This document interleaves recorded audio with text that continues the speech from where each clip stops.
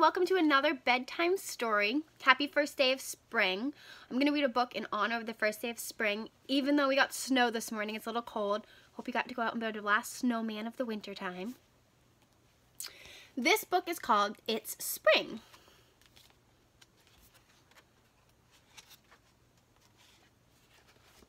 I run outside in thin pants and short sleeves. No thick heavy winter coat bundled around me. I skip and leap and feel light and free. Fresh air rushes all over me. A little chilly today for just a t-shirt. Creeks and streams are starting to flow. We hear the trickle of melting ice and snow. Then one day, pitter-patter, splitter-splatter, rain pours down, creeks and streams rush and gush again.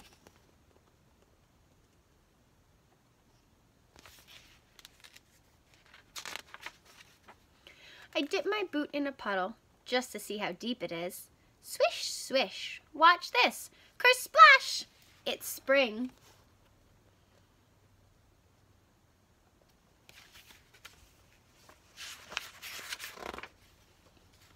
We find tight, pointy leaf buds on bushes and trees. I peel one open and see the tiny beginnings of fresh new leaves.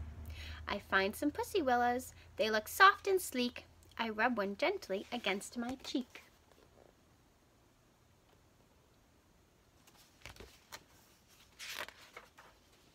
The ground is growing soft and warm again. There's a clean, fresh smell in the air. We find tiny new green growing things everywhere. Animals that slept all winter are now waking up. Earthworms, frogs, turtles, snake, beetles, and ladybugs.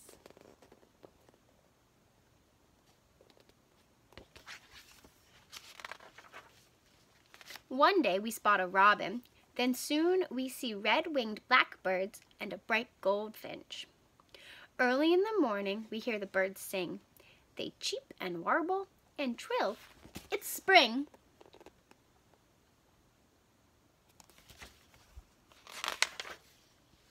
Birds fly here and there with grass in their beaks. We watch them building in nests in trees, getting ready for new families.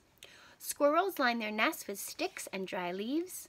And here, in this hole, are new baby bunnies. Ducks quack to their ducklings and geese honk to their gosling, gooselings. All soft and fuzzy and out for a swim. If you look really close, you can see the baby bunnies in the hole.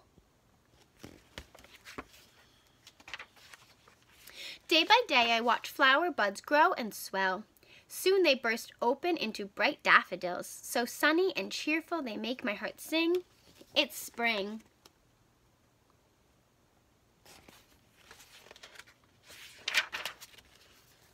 Ferns uncurl, leaves unfurl. Tree branches that were bare now have tiny green leaves. It's time to plant seeds. Corn, cucumbers, beans, peas, and my very own sunflower seeds.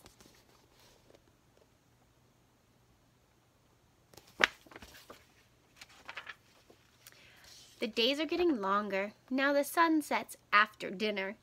Outside we watch the sky turn slowly dark and count the stars as they come out. Then all the spring peepers and bullfrogs sing. It's spring.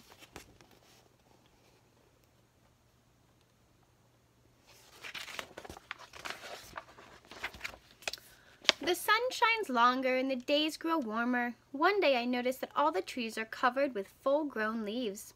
Soon it will be summer, but right now it's still spring.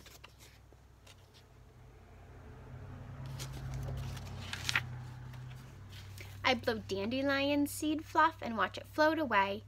Dragonflies dip and dart every which way.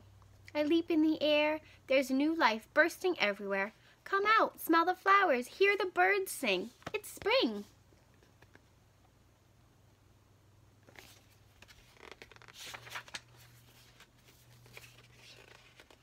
Some nature activities this book gives us are you could go outside and watch some birds flying. You could help by looking for different baby birds or bunnies that are in your yard. You could put out a bird feeder. You could listen to the birds sing, Maybe you can try to find different kinds of birds and their songs over this next couple of weeks. You can take pictures of different animal animals that you see. Maybe document if you have a journal that your teacher gave you this week. You could take a picture, make a little collage. You could plant a flower garden or draw a picture of one if you'd like. You could find some new leaf buds. You can take a nature walk and see if you notice any streams that are starting to run.